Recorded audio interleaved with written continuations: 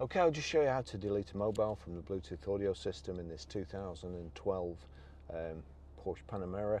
So if we go over to, you've got phone there, if you click on phone, you'll see there you've got dial number, phone, previous calls, nothing obvious, and you've got option over there which is grayed out. If you click on option, you've got telephone settings and Bluetooth settings, phone book settings, transfer phone book, delete phone book.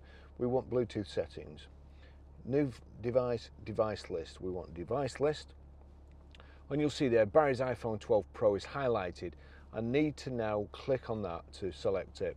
And then you've got rename, delete, device details or disconnect, delete.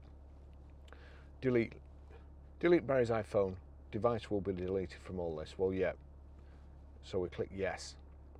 That's it, that's it gone.